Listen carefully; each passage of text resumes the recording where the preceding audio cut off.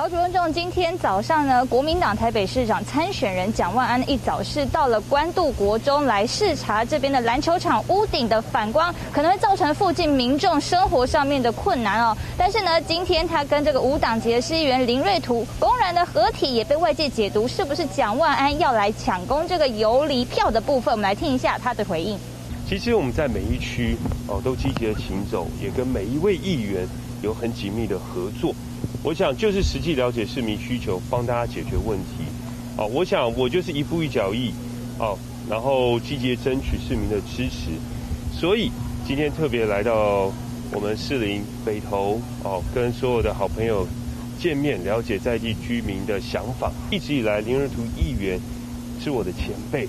我在第一次参选的时候，议员就给我非常大的照顾、指导，还有帮忙，我都一直感念在心。呃，我在立法院这七年多，我在地方上面跟议员配合的非常好，只要有中央需要协助的地方，我都尽力跟议员来合作。所以今天再次跟我反映地方的住户有这样的心声哦，会特别到基层来，这就是我一直秉持的态度。